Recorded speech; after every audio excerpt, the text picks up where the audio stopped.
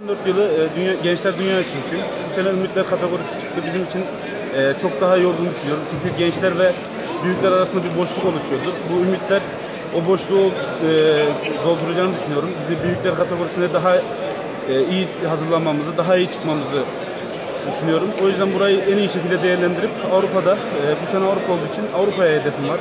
İnşallah burada da e, Çorum'da da şampiyon olmak, Türkiye şampiyon olmak hedefim.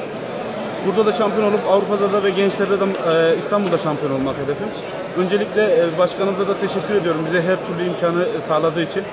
Buradaki hedefim şampiyonluk. Bizi buraya hazırlayan hocalarım, e, arkadaşlarım hepsine tek tek teşekkür ediyorum. Burada bütün e, arkadaşlarıma, bütün kulüplere başarılar diliyorum. Hayırlısıyla geçer inşallah.